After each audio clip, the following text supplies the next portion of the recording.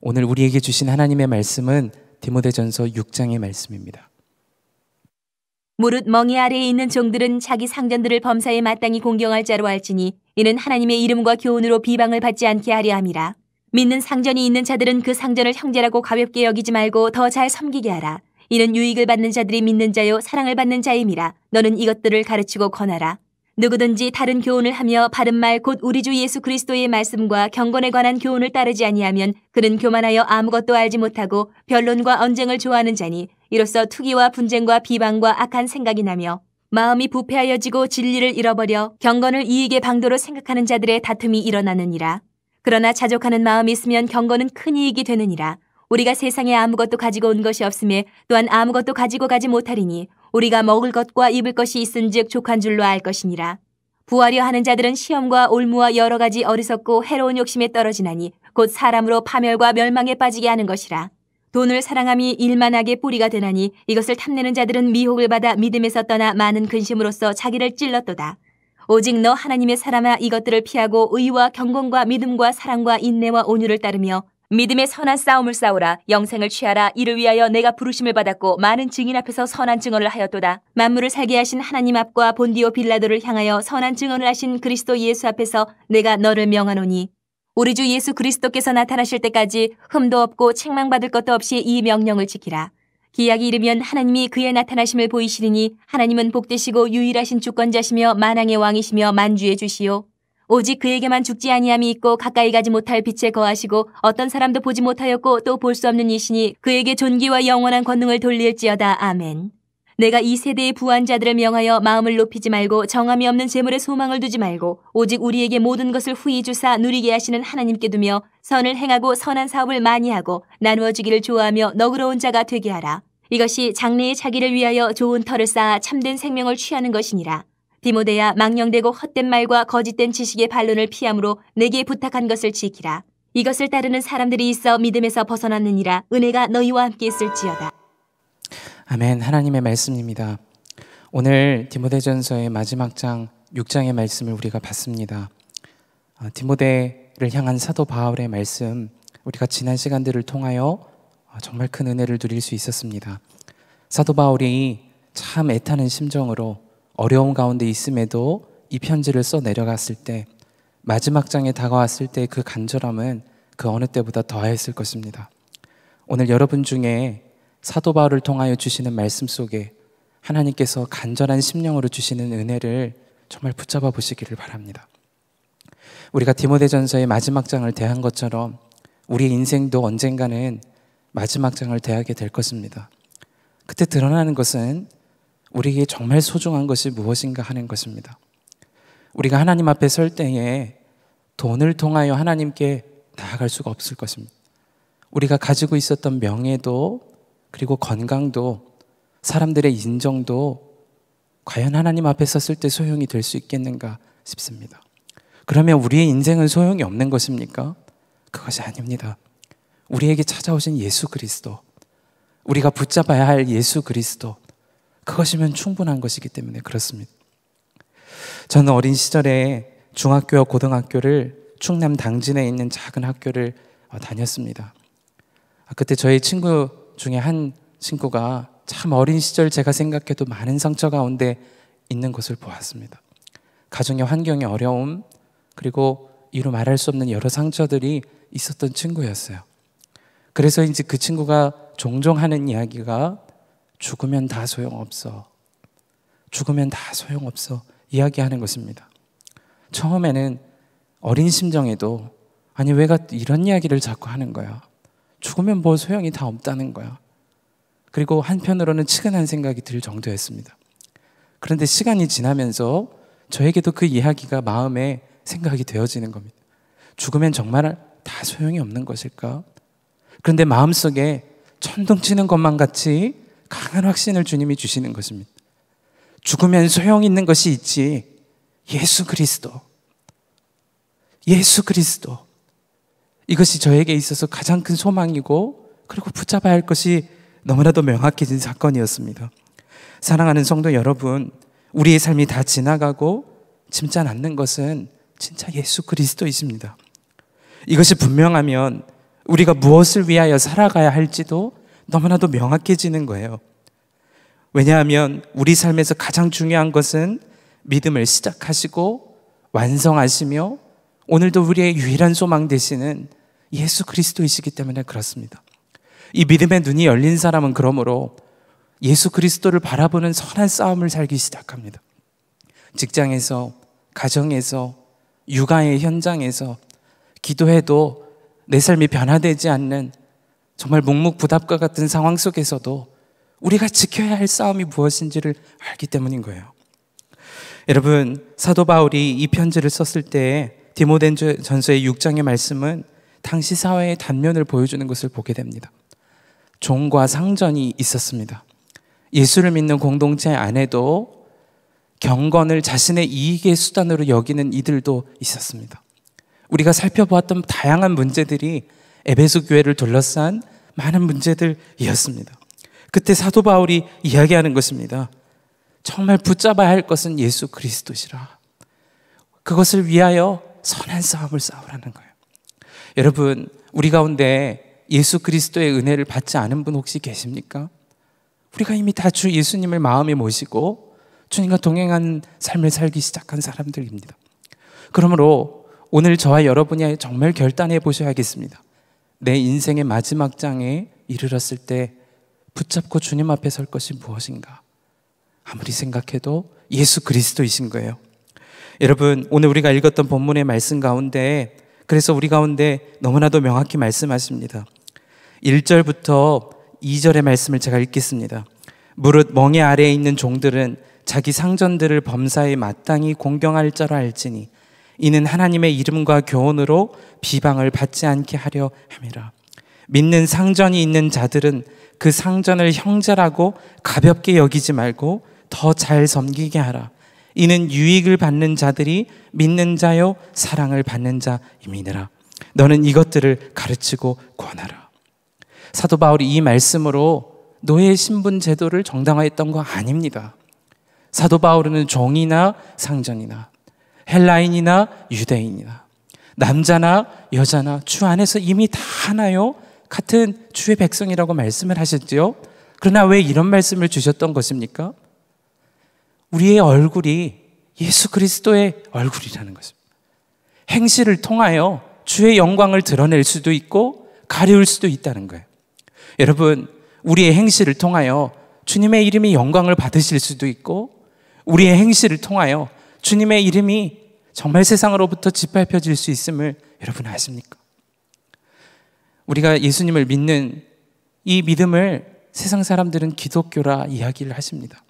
여기서 기독이라는 표현은 그리스도의 한자어 표기이죠. 우리의 잘못한 행실이 되면 그리스도 기독이 어떻게 달라지는 것입니까?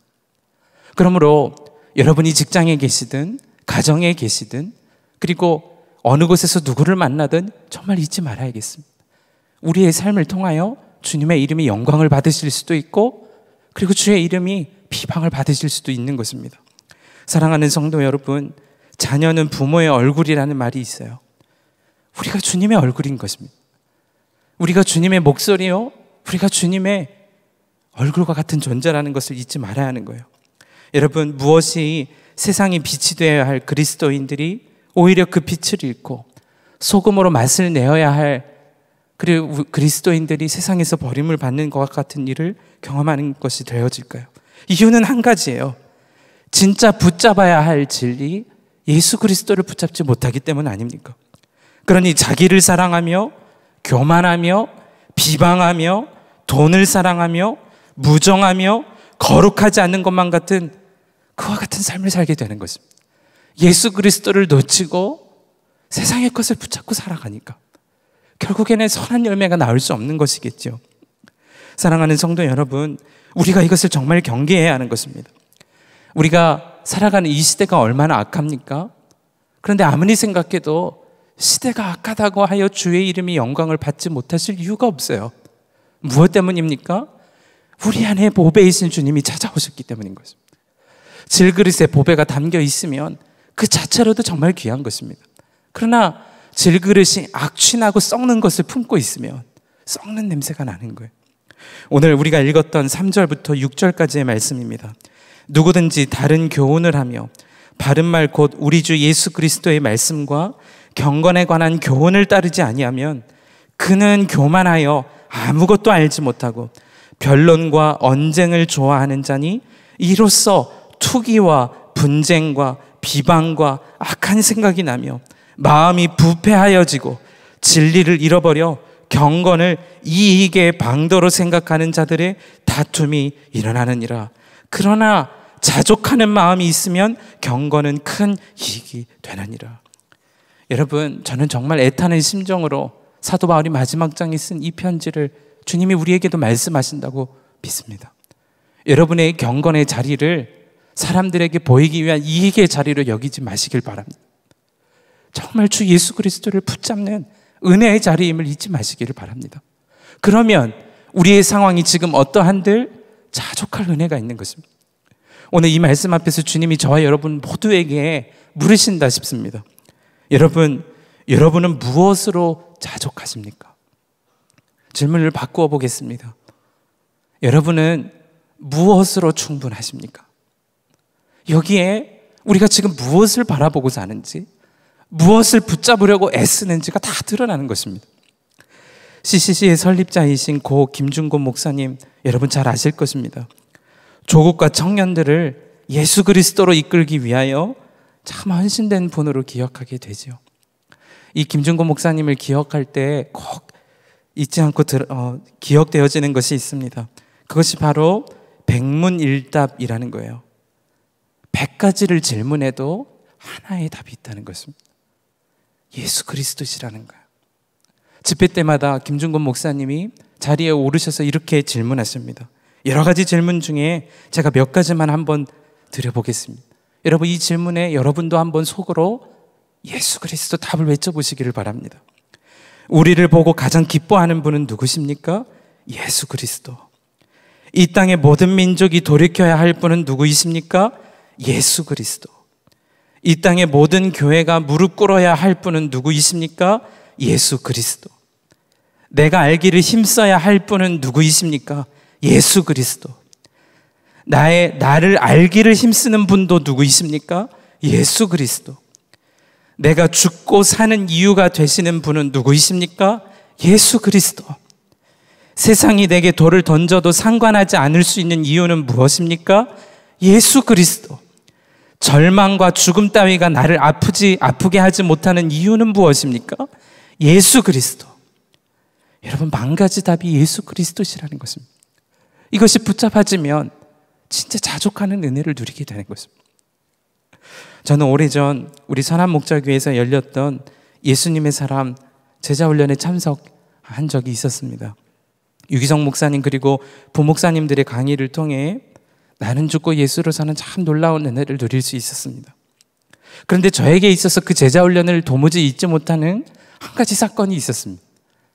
말씀을 통하여 은혜를 받고 도전을 받는 것도 귀한 것이었지만 이제 일정을 마치고 우리 교회 1층 로비로 내려왔을 때 하루 종일 왼종일 귀한 섬김을 하셨던 두 분의 집사님이셨던 것 같아요. 양쪽 끝에서 서로를 보시고 다가가시더니 두 손을 꼭 잡고 이렇게 이야기하시는 거예요. 주님이 하셨습니다. 하루 종일 왼종일 고된 일, 사람들이 알아주지 않는 그와 같은 섬김의 자리를 애쓰셨던 분들이었던 것을 보았습니다. 많은 것들을 세팅하고 정리하고 늘 그 자리에 계셨던 분들이었던 것을 보았습니다. 얼마나 사람들에게 인정도 받고 싶고 칭찬도 받고 싶고 그와 같은 마음이 있으셨겠어요. 그러나 그분들의 고백은 너무나도 분명했던 거예요. 주님이 하셨습니다. 저는 그때 비로소 진짜 예수님의 사람들을 실제로 경험했던 거예요.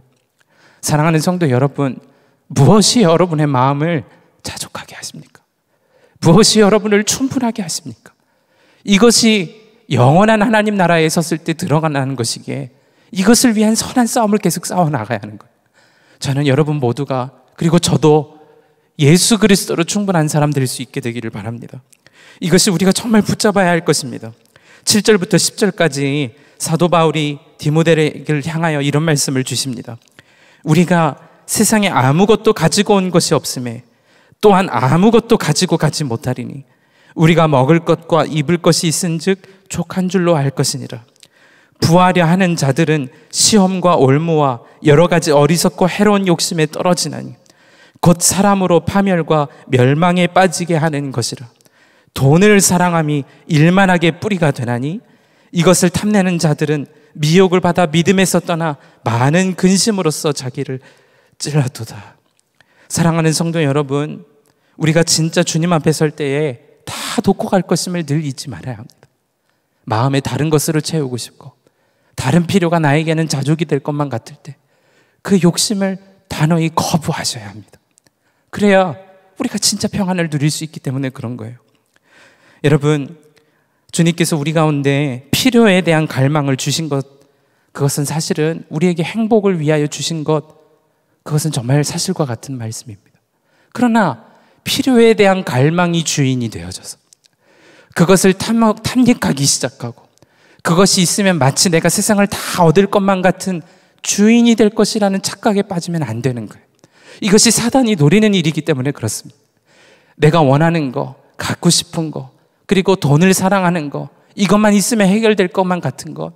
사실은 그것은 행복을 넘어서서 우리가 스스로 독을 마시는 것인 줄도 모르는 것이기 때문에 그렇습니다. 그러므로 여러분, 우리가 해야 할 것은 너무나도 분명한 거예요. 하나님 나라 가기까지 변함도 없으시고, 회전하는 그림자도 없으시고, 우리에게 참 소망이 되시며, 진짜 붙잡아야 할 진리, 예수 그리스도를 위한 선한 싸움을 싸우는 거예요. 그분을 바라보는 눈을 고정하는 선한 싸움을 싸우는 것입니다.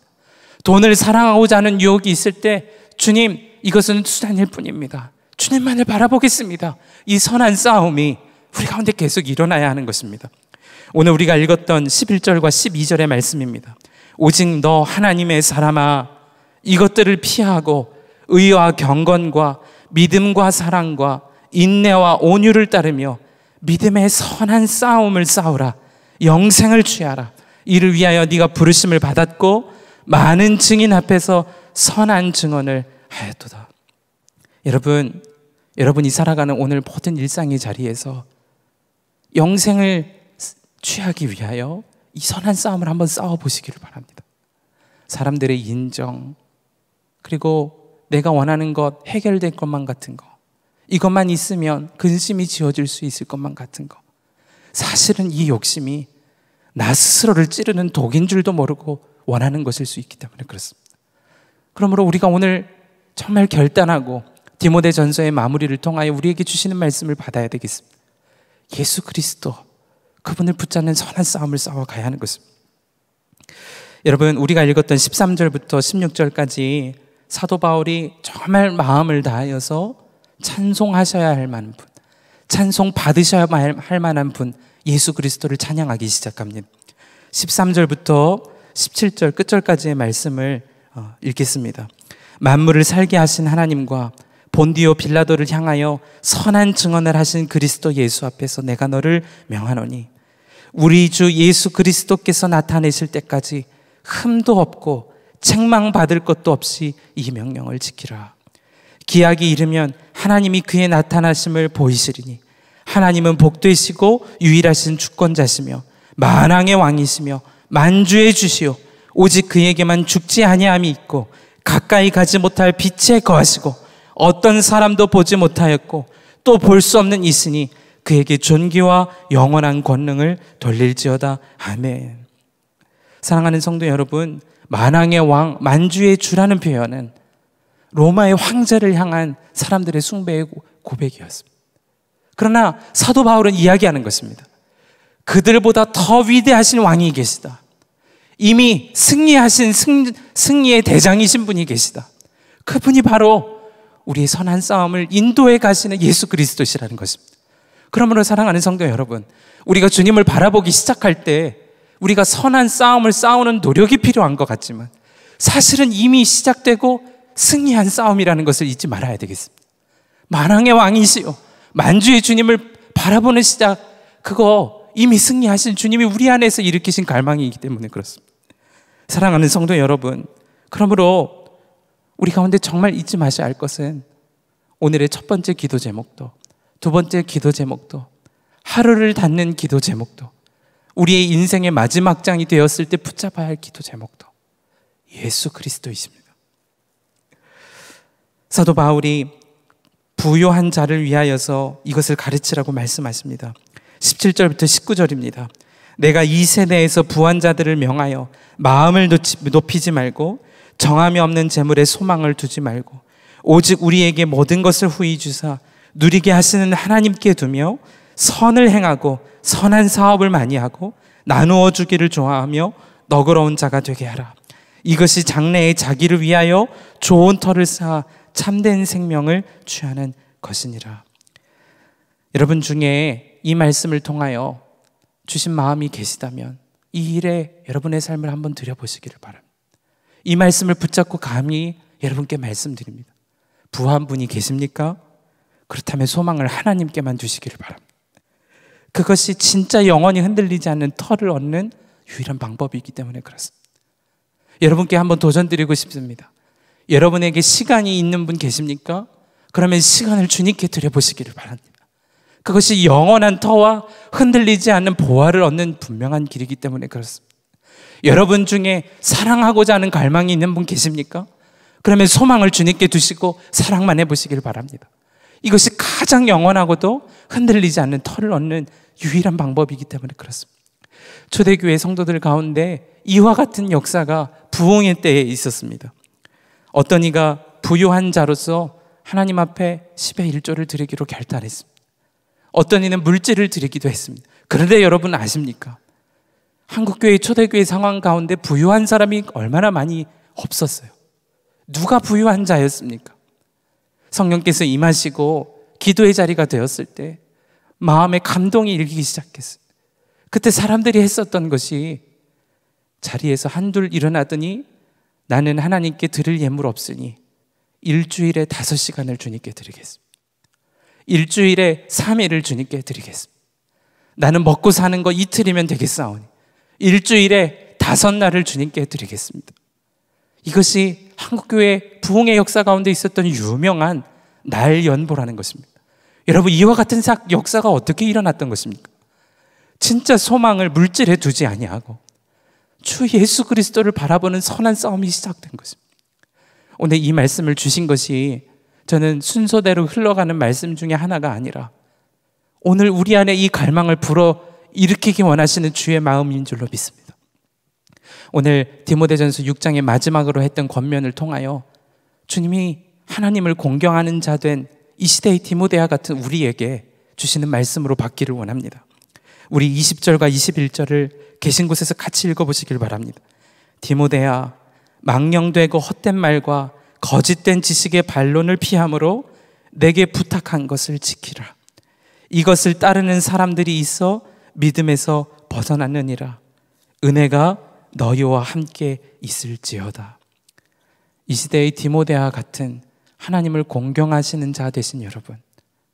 여러분 정말 변론을 피하시고 세상의 헛된 신화와 족보와 변론을 떠나 예수 그리스도를 붙잡으시길 바랍니다. 그러면 주님께서 우리를 은혜로 덮어 주실 것입니다. 세상이 줄 수도 없고 빼앗을 수도 없는 그리고 샘솟는 샘물과 같은 은혜로 우리의 심령을 채워 주실 것입니다. 이제 우리 주신 말씀을 붙잡고 두 번에 나누어서 함께 기도하기를 원합니다. 오늘 첫 번째로 함께 기도하실 때 11절과 12절의 말씀을 붙잡고 기도하겠습니다. 오직 너 하나님의 사람아 이것들을 피하고 의와 경건과 믿음과 사랑과 인내와 온유를 따르며 믿음의 선한 싸움을 싸우라 영생을 취하라. 이 시간 첫 번째로 기도하실 때 주여 세상의 유혹과 헛된 것을 피하게 하시고 어느 곳에 있든지 무엇을 하든지 주 예수님을 바라보는 믿음의 선한 싸움을 싸우게 하여 주옵소서. 이로 인하여 내가 살 뿐 아니라 내가 속한 가족과 공동체 모두가 영생을 취하는 살아나는 역사가 있게 하여 주옵소서. 우리 합심해서 주여 한번 부르시고 첫 번째 기도 제목을 붙잡고 기도하겠습니다. 주여, 어 살아계신 하나님 그렇습니다. 하나님 우리가 붙잡아야 할 분 예수 그리스도이십니다. 하나님 우리의 인생이 다 지나가고 우리의 인생의 마지막 장을 썼을 때에 남는 것은 예수 그리스도이십니다. 하나님 우리가 이것을 정말 잊지 않고 끝까지 붙들어내는 역사가 있기를 원합니다. 하나님 앞에 섰을 때에 후회할 것도 없이 이 세상을 살아갈 때에도 후회할 것도 없이 예수 그리스도를 붙잡는 영생의 싸움을 싸워 나가기를 원합니다. 하나님 우리가 있는 곳에서 이것을 위하여 의와 경건과 믿음과 사랑과 인내와 온유이신 예수 그리스도를 따르게 하셔서 믿음의 선한 싸움을 승리하게 하여 주옵소서. 영생을 정말 취하게 하여 주옵소서. 하나님 정말 살아나는 역사가 그로 인하여 가정에 일어나게 하시고 우리가 살아가는 공동체 가운데 일어나게 하시고 하나님 우리가 살아가는 이 시대 가운데 일어나게 하여 주옵소서. 우리를 통하여 주의 영광을 드러내소서. 주의 얼굴을 드러내소서. 이 시간 우리 두 번째로 기도하실 때 17절과 18절의 말씀을 붙잡고 함께 기도하겠습니다. 네가 이 세대에서 부한 자들을 명하여 마음을 높이지 말고 정함이 없는 재물에 소망을 두지 말며 오직 우리에게 모든 것을 후히 주사 누리게 하시는 하나님께 두며 선을 행하고 선한 사업을 많이 하고 나누어 주기를 좋아하며 너그러운 자가 되게 하라. 이 시간 우리 함께 기도하실 때 이렇게 기도하십시다. 주여 우리가 헛된 것에 소망을 두지 말게 하여 주옵소서.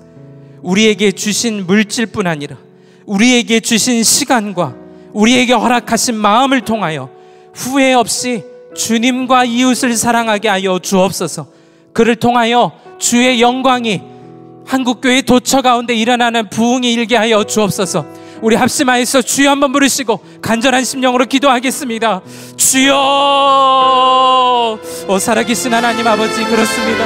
우리에게 허락하신 시간과 우리에게 허락하신 물질과 우리에게 허락하신 마음을 통하여 아버지 하나님 우리가 선한 일을 살아가기를 원합니다. 우리에게 소망이 되는 것은 예수 그리스도이시니 허탄한 것은 우리의 시선을 두는 것이 아니라 정말 소망이신 예수 그리스도를 향하여 우리의 믿음의 닻을 내리고 믿음의 눈을 들고 날마다 하나님이 이를 위하여 선한 싸움을 싸워가기를 원합니다. 선한 삶을 살아가기를 원합니다. 하나님 우리가 이 말씀을 받아 싸우는 우리 가운데 이 일이 도처에 일어나게 하여 주옵소서. 허탄한 신화를 위하여 살지 말게 하시고 허탄한 변론을 위하여 살지 말게 하시고 정말 예수 그리스도 예수 그리스도를 위하여 하나님 우리의 시간을 드리게 하시고 물질을 드리게 하시고 우리의 삶을 드림으로 인하여 선한 역사가 도처에 일어나는 부흥을 보게 하여 주옵소서 하나님 우리 가운데 이 일이 일어나게 하여 주옵소서.